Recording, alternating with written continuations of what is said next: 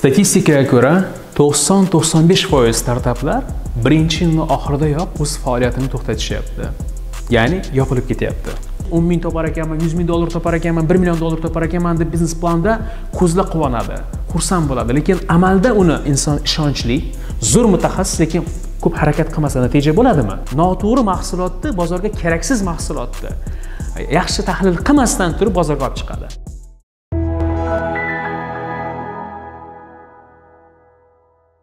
Assalomu alaykum aziz do'stlar. Bugun sizlar bilan biznesni rivojlanish bosqichlari haqida suhbat qilmoqchiman. Ulardan eng asosiy bosqichi bo'lgan startap haqida. Rivojlanishi besh bosqichdan iborat bo'ladi. Birinchi bosqich bu startap bosqichi. Ikkinchi bosqich bu ручное управление ya'ni qo'lda biznesni boshqarish. Uchinchi bosqich bu почти sistema deb qo'yadi ruschada ya'ni deyarli tizimlashgan biznes hisoblanadi.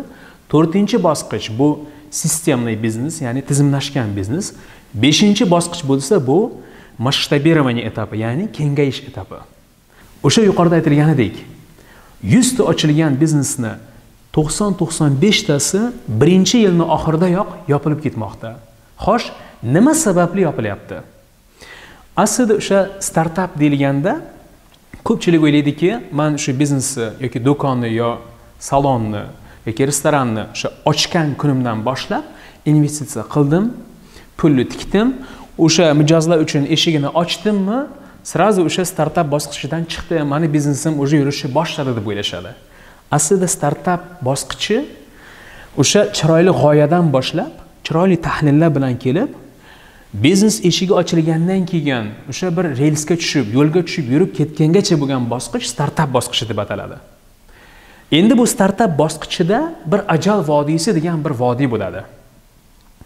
Bu ajal vodiysiga shu yuqorida aytilgan to'qson to'qson besh foiz firmalar tushib ketmoqda. Xo'sh ko'raylikchi nima sababli shuncha chiroylik g'oyalar bilan boshlangan shuncha shijoat bilan shuncha niyat bilan katta pullar bilan ba'zan boshlangan yangi loyihalar bir yildayoq o'sha e, qabrga kiryapti.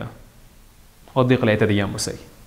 Buni sabablari juda ko'p lekin man o'zim ko'rgan o'zim hatto o'z bir nechta biznesimda qilgan xatolarimdan kelib chiqib o'sha e, xatolarni bir nechtasini aytib o'tmoqchiman.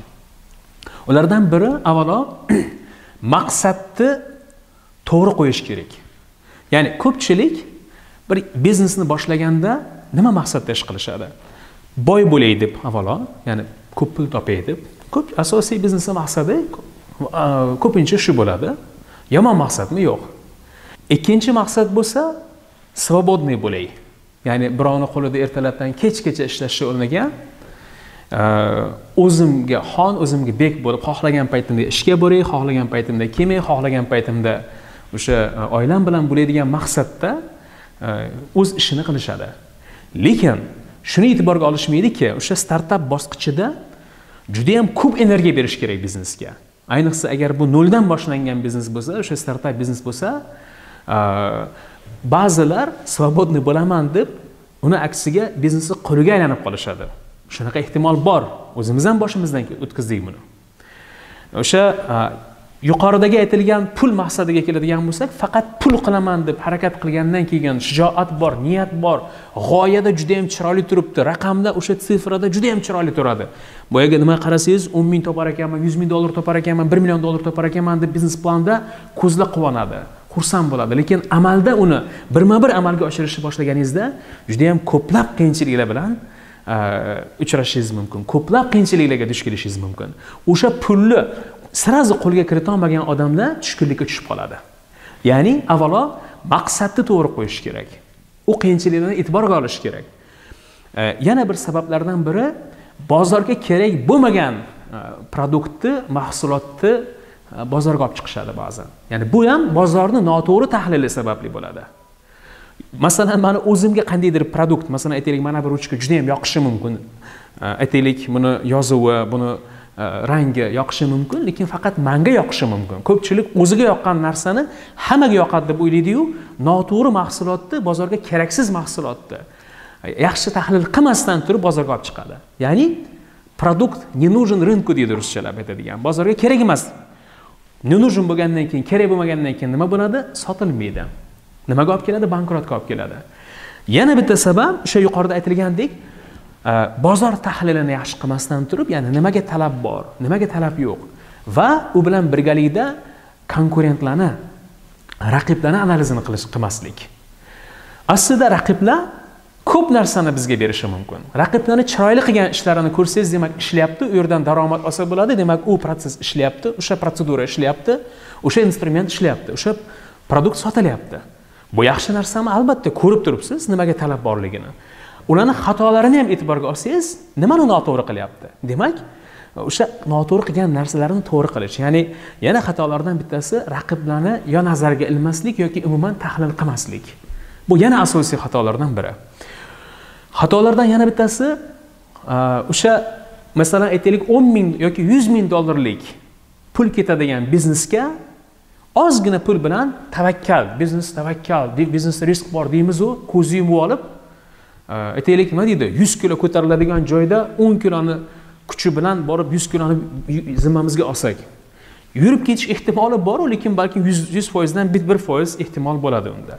Ya'ni pulli yetishmovchiligi tavakkal qilib oldiga qaramasdan kerakli sarmoyani tikmasdan kerakli finansni e'tiborga olmasdan ishni boshlatib qo'yganlarni ko'pini ko'rdik.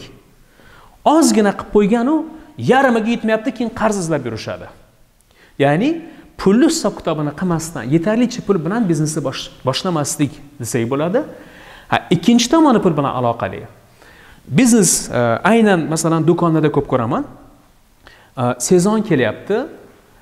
Siz bo'lsangiz o'sha sezonga qarab pulingiz yangi tovar olib kelishga yangi mahsulot chiqarishga yetmay qoladi.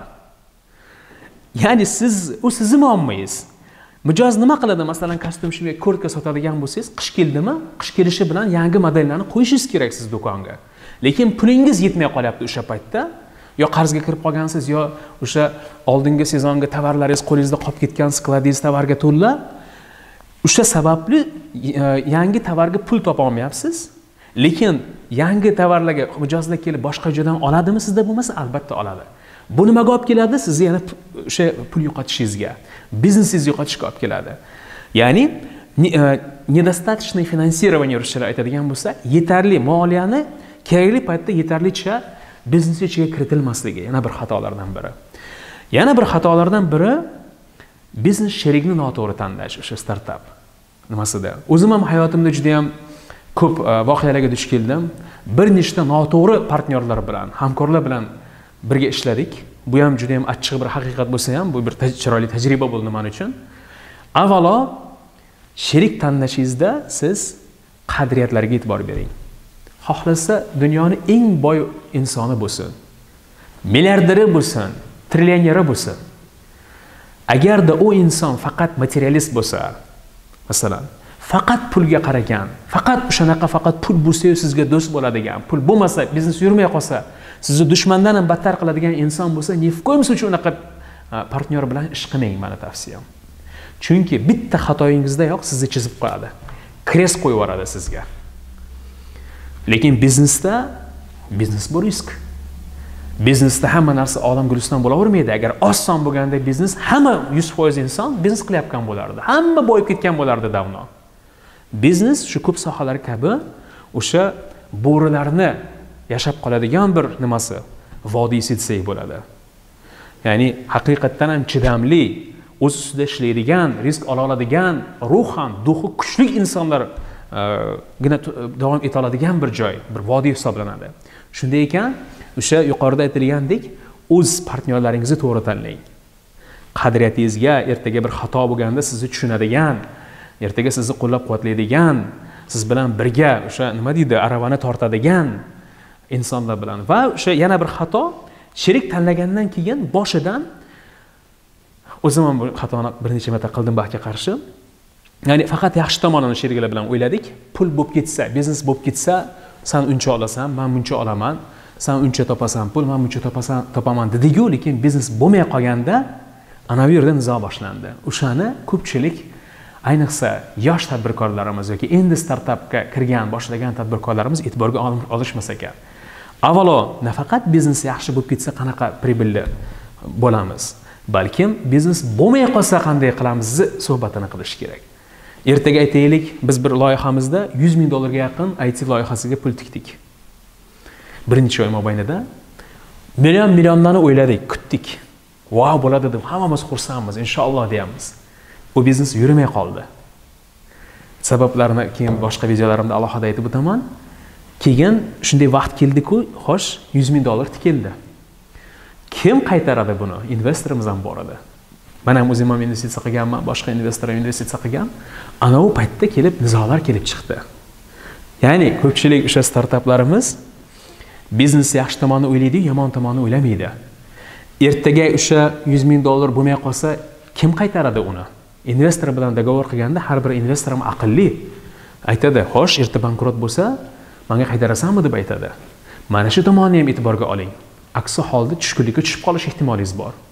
Undan keyin e, boshida o'sha keraksiz joylarga yana bir xato katta katta pullarni tikish. Ya'ni hali biznes ishga tushgani yo'q qimmat qimmat ofislar olish qimmat qimmat mashinalarni olish keraksiz joylarga katta katta reklamalarga pul tikish. Hali o'z mahsulotingiz sotiladimi yo'qmi uni bir probni nima qilib ko'rganingiz yo'q. Operatsion rasxodlarni juda yam ko'paytirib yuborish. Bu yaxshilikka olib kelmaydi. Albatta sizni ishingiz uchun boshqangiz uchun imijingiz uchun bu muhim bo'lishi mumkin. Lekin avvalo u tomondan ya'ni faqat chiqim boru kirim bo'lmasa ertaga sizni tushkunlikka tushiradi va ertaga sizni biznesingizni to'xtatib qo'yishi mumkin. Qarzga kirib ketish ehtimolingiz bor. Yana eng ko'p uchragan xatolardan biri eh, hali bitta biznesni ishga tushmay turib yo'lga qo'yilmasdan turib bir nechta yangi biznes e, boshlash. Ya'ni bu juda yam bugungi kunda ko'p tadbirkorlarimiz ichida modaga aylanganmi bilmadim. O'sha bir paytni ichida bir nechta quyonni orqasidan quvishga o'xshaydida hech qaysiga erisholmaysiz ya'ni. Ya'ni bitta biznes ishga tushmasdan turib ikkinchi biznesni ochish uchinchi biznesni ochish to'rtinchi biznesni ochish bu nimaga olib keladi? O'zimiz ham shu xatoni qildik baxtga qarshi. Bu расфокусировкаga olib keladi ya'ni fokusingiz где fokus там развитие deydi ruschalar qayerda fokusingiz e'tiboringiz bo'lsa shu joyda o'sish bo'ladi shu yerda bryuslini chiroyli so'zini eslab o'tmoqchiman bryusli aytgan ekan man yuzta udar bilgan insondan qo'rqmayman man bitta udarni yuz marta o'zlashtirgan insondan qo'rqaman chunki o'sha bitta udari shunaqa uradiki uchirib yuborishi mumkin degan ekan xuddi shunga o'xshab agarda siz holning holiga olib kelmoqchi bo'lsangiz biznesingizni agar agarda kengaytirib chiroyli va brend holiga olib kelib dunyo miqyosiga chiqaman desangiz avvalo bitta biznesni chiroyli qilib to'liq qilib sistemaga tizimga soling yo'lga soling. Keyin o'sha soha bilan aloqali yo o'shanga yaqin sohalarda ikkinchi uchinchi to'rtinchi bizneslarni qadamma qadam bosqichma bosqich qo'yib boring. Ya'ni bir e, vaqtni ichida bir nechta biznes qilish ham ko'p startaplarni yo'q bo'lib ketishiga sabab bo'lmoqda. Xatolardan yana bittasi noto'g'ri xodimlar bilan noto'g'ri jamoa bilan ishni boshlash. Jamoa haqida alohida qanday qilib kuchli jamoa tuzish orzuyimizdagi jamoani tuzish haqida alohida bir video qilganman. O'sha yerda yanada batafsil ma'lumot olishingiz mumkin. Lekin ayniqsa agar startap biznesida bo'ladigan bo'lsangiz to'g'ri insonlar bilan yo'lga chiqish naqadar muhim naqadar e, o'sha kerakligini avvalo tushunib olishimiz kerak. Ko'pchilik qarindosh urug'i bilan do'stiyori bilan aka ukasi bilan biznesni boshlaydi. Lekin aytardimu yuqorida uchta ko'nikmaga e'tibor beringda. Bir ishni yurib ketishi uchun natija bo'lishi uchun bir jamoada o'sha har bir o'yinchi jamoadagi uchta o'sha ko'nikmaga to'g'ri kelishi kerak. Birinchisi ishonchli halol ishlaydigan pok ishlaydigan ishonsa bo'ladi pulingizni ishonib topshirsa bo'ladigan do'koningizni ishonib topshirsa bo'ladigan restoraningizni ishonib biznesingizni ishonib topshiradigan bir inson bo'lishi ishonchli bo'lishi muhimmi? Albatta muhim. Aka uka do'st yorlarimiz ishonchli bo'lganligi uchun ularga topshira olamizmi? Ha. Ikkinchisi mutaxassis bo'lishlik. Ya'ni bir ishni yurishi uchun o'sha ishni bilgan insonlar qilgani yaxshimi bilmagan insonlar bilan ish yuriydimi albatta bilgan insonlar bilan. Uchinchi muhim ko'nikma bu vovlechonность deydi. Harakatchanlik ya'ni intilib o'sha ishni bajarish. Ba'zan inson ishonchli zo'r mutaxassis lekin ko'p harakat qilmasa natija bo'ladimi? Qo'lni uchida qilsa ishlar natija bo'ladimi? Albatta bo'lmaydi. Ya'ni yuqorida aytilgan bizni qarindosh urug'imiz do'styor aka ukalarimiz bilan biznesni boshlaganimizda ular ko'proq ishonchli lekin mutaxassis emas va ishni ishni birinchidan bilmaydilar va o'rganish uchun ham qattiq harakat qilmayaptilar. Nimaga bu ish bo'lmaydi desa aka ukangiz xafa bo'lishi mumkin. Do'styoringiz e erta qilib qo'yamanda deb turib o'sha gapingiz ham o'tmasligi mumkin. Bu holatda faqat ishonchli inson bilan ish qilsangiz biznesingiz yuradimi? Yurmaydi. Demak ishonchli insoningiz faqat nima qilyapti? Qo'riqchilik qilyapti охранalik qilyapti. U narsa ham kerakdir lekin sizga uchovi ham bo'lishi kerak. Ham ishonchli bo'lsin ham mutaxassis bo'lsin va harakatchan bo'lsin. O'ldim deganda ishonch bilan harakat bo'lsa agar natija ham keladi. Yo noto'g'rimi? Xuddi mana shu narsada xato qilinyapti. Noto'g'ri insonlar bilan o'sha ishonib topshirma topshirsa bo'lmaydigan insonlarga ish berilyapti. Buni natijasida nima bo'lyapti? Ish ketmayapti. Undan tashqari o'sha tadbirkorlikka qadam qo'ygan yo tadbirkor o'zini ko'nikma o'sha liderlik va ko'nikma darajasi ilm bilim darajasi bir chiroyli ruschada so'z bor. Масштаб вашего бизнеса равен масштабу ваших умений ваших знаний deydi. Bu degani sizning boshqarayotgan olayotgan daromadingiz biznesingizni ko'lami sizni fikrlash sizni o'sha ilm bilim ko'nikma ko'lamingiz bilan barobardir deydi. Ya'ni avvalo ya'ni bu degani siz nimani e, faraz qila olsangiz nimani o'ylay olsangiz nimani bilsangiz ko'p narsa bilsangiz ko'p chiroyli ishlar qilishingiz mumkin. Kam narsa bilsangiz kam narsa qilishingiz mumkin. Ko'pchilik inson o'ylaydiki tadbirkorlik bu tavakkal ishi. Tadbirkorlikda faqatgina o'sha biz e, demak e, pulni tikamiz risk qilmasa ham bo'lmaydi. Albatta risk bor. Lekin ko'zni yumib ham risk qilmaslik kerakku. Ya'ni avval ozgina tadbirkorlik haqida ma'lumot olib o'zingizni dunyoqarashingizni kengaytirib kimlar qanaqa xato qilyapti bir e, tadbirkorlik uchun nimalarni bilish kerak nimalarni qanday xatolarni qilmaslik kerak ya'ni o'zingizni biznes olamidagi ilm bilimingizni biznes yuritish sohasidagi ilm bilimingizni ko'nikmangizni kuchaytirsangiz ko'paytirsangiz bu ziyonmi albatta yo'q. O'sha ko'pchilik tadbirkorlarimiz umuman biznesni yo tushunmay turib yo bu shart emas protsessi protsessda o'sha o'sha ketish jarayonida o'rganib olamiz o'nglab ketamiz deb ish ichiga kirishadi. Lekin ba'zan botqoqlikka o'sha botib qolganlarni keyin anglab yetishadi.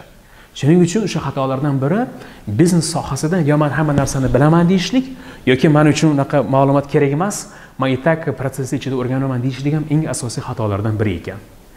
Endi eng eng muhim xatoga kelmoqchiman bu bo'lsa ko'pchilik tadbirkorlarimiz birinchi qiyinchilikdayoq hamma ishni tashlab qochishmoqda.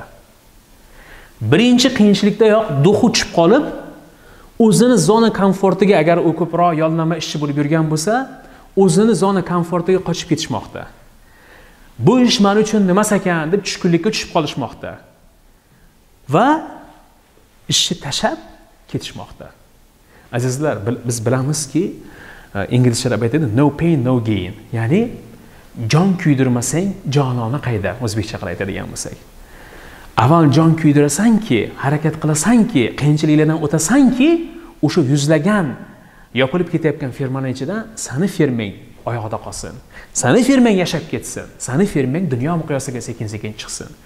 Shuning uchun o'ylaymanki bugungi o'sha videomiz endi biznesini boshlayotgan yoki bo'lmasam bir vaqtga kelib tushkunlikka tushgan insonlarimiz uchun yoki yangi bir e, bitta biznesini hali qo'ymasdan turib ikkinchi biznesini qo'yishga harakat qilgan e, aka ukalarimiz do'stlarimiz uchun foydali bo'lishi mumkin. Endi biz e, o'sha yuqorida aytilgan biznes rivojlanishidagi besh bosqichni birinchisini bugun aytib o'tdik. Aslida har bir bosqichi ham o'zini qiyinchiligi bor. Ulardan bittasi masalan ko'pchilik bitta joy tochka ochadi ikkinchi joyga harakat qiladi uchinchi joyga. Bitta joyi judayam zo'r boshqarishi mumkin chunki o'sha ручное управление degan ikkinchi bosqich haqida aytmoqchiman qisqacha. Ya'ni bitta joyi ya'ni bir restoranmi bir do'konmi bir salonni ochib judayam chiroyli boshqarishi mumkin chunki ручной управлениеda hamma narsani boshida o'zi turadi lekin ikkinchi uchinchi tochkalarni ochganda katta muammolar kelib chiqyapti.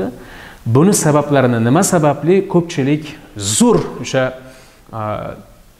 biznesmenlarimiz bitta tochkasida wow effekt yaratib ikkinchi uchinchi to'rtinchi beshinchi o'sha tochkalarni ochayotganda kengaytirishda e, unday effekt yaratisholmayapti hatto bizneslarni yopilib ketishiga ketishini ko'ryapmiz.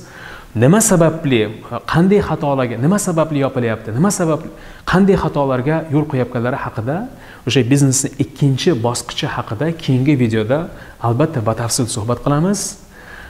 Youtube kanalimizga ijtimoiy tarmoqlardagi kanalimizga obuna bo'lishni unutmang.